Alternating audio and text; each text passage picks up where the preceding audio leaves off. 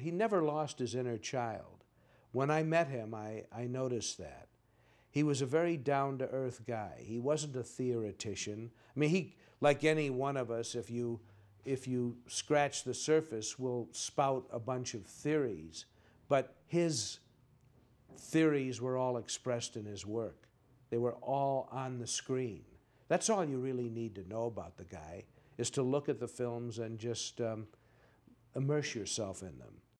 Stylistically, the great Japanese films that we've seen, from uh, Ozu to Kurosawa, uh, and with many other examples along the way, Oshima, th their films are composed in the classic way, the classic Japanese way of a one sort of uh, basic shot per scene that almost never varies. It's from a low angle, usually, like someone sitting on the floor. The compositions are carefully uh, framed, carefully lit, and often the camera doesn't move. It does on rare occasion. It moves only to follow somebody who's entering or leaving the frame, and often we'll just let them enter or leave the frame without moving. And these are the, this is the style of the great Japanese printmakers. Um, uh, Fukasaku's work is, uh, is very much like um, the American films of the 70s that either may or may not have been influenced by them. The camera's constantly moving. The, the um, action is visceral. He tries to put you in the middle of the action. He, uh, very often, it goes from uh, handheld, very visceral filmmaking into an, a kind of operatic style, and um, which is extremely unusual. He mixed styles, all I believe, in an attempt to deeply immerse the audience in the experience of the story. You feel as though you are inside the frame rather than outside the frame looking at a painting. You're not outside looking in. You are often very much within the frame. And that's a style that the filmmakers of the 70s picked up and, and sort of ran with. French Connection could very easily have been done by Fukasaku.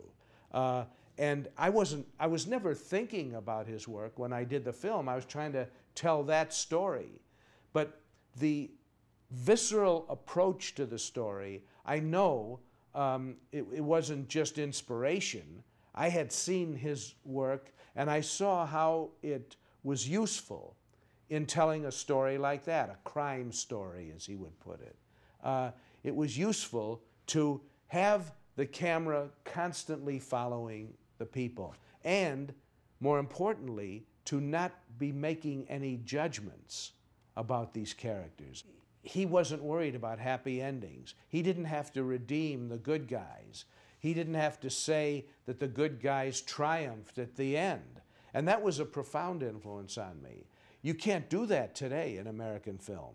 Audience has have to be totally clear as to who the good guy is, who the bad guy is, and there's no variations. It's gotten to a point even where they're comic book characters, comic book heroes, comic book villains. But in the uh, Fukasaku universe, the great films of his, he had no judgment about the characters. The heroes were, were not always triumphant. So they had much more of a um, relationship to actual life. And I, I really believe that there, most people, all people, are made up of good and bad, and that it's a constant struggle within us for our better um, natures to triumph over our inner demons. Well, that, the Battles Without Honor and Humanity is just about the best series of films of its kind. Uh, it embodies so much of world cinema that has dealt with this subject matter. It's like saying, why would you tell a writer, for example, to read James Joyce's Ulysses? Because it's a quarry for writers. In that book, you can find techniques, attitudes, approaches, language, everything you need to be a writer. Uh, for a filmmaker, you can look at Battles Without Honor and you can um, be immediately influenced to make films yourself and want to go out and not imitate that, but do something else that's of the same value or quality about the world that's around you. And for an audience, they're just very entertaining. You, they're unpredictable, they're highly original in their approach to subject matter, even though the subject matter is not original. Uh, but the approach is original and the, the techniques are completely unexpected. Most of the films you see that are made today by Hollywood are so predictable and in, in style as well as content. Originality is in short shrift. And in Fukasaku's films, it's, they're, they're completely original to this day. And that's why they inspire. You know, the, works like that are as valuable as written histories. They're, they're kind of visual histories of, um, of the way the society was in various periods. The great filmmakers, like Fukasaku certainly was, um, both reflected their time and they were prophetic about what was to come. But clearly they started with a, with a, uh, a base of reflecting what they saw. They became what they beheld. And so he made a lot of films about bizarre crime and, and murder and casual death because that was a constant in his everyday life. Some people just went crazy. Others, a lot died by just being there. He was one of those who was able to turn this chaos and degeneration into art. He um, was a teacher.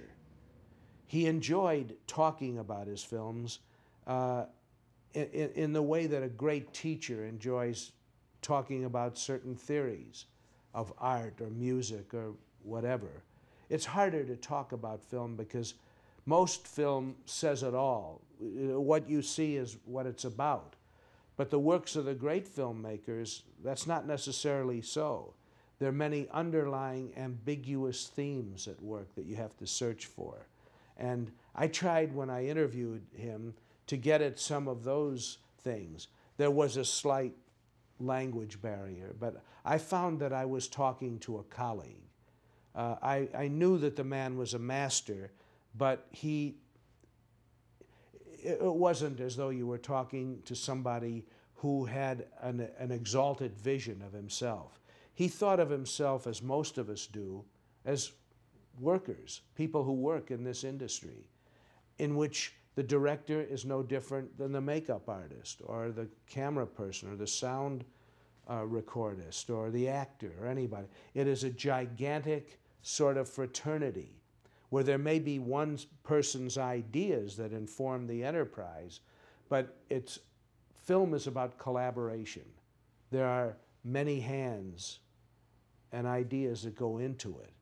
And he spoke a little bit about that, how a lot of the ideas in his films came from people on the crews that he worked with, who had worked with him for many years.